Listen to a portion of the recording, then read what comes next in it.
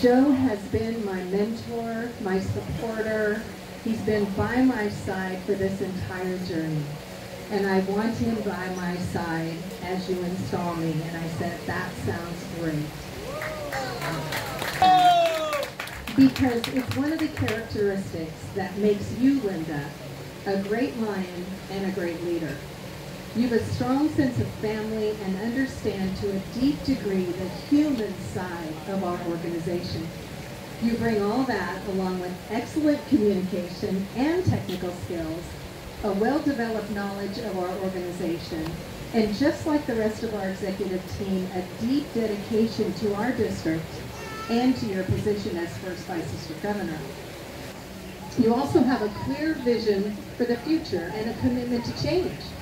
You and the rest of this dream team are already floating ideas of change that will enhance membership, enhance leadership, the ability to deliver service to our communities, you and more as a second vice district governor.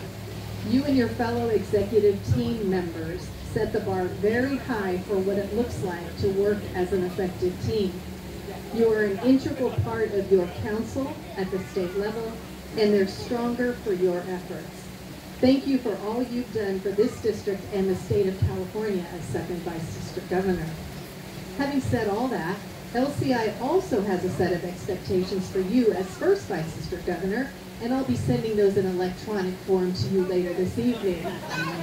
exactly.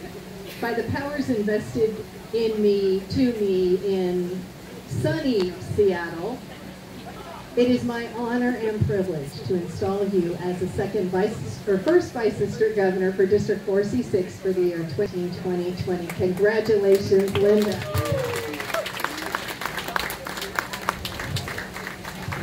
Thank you, Liz.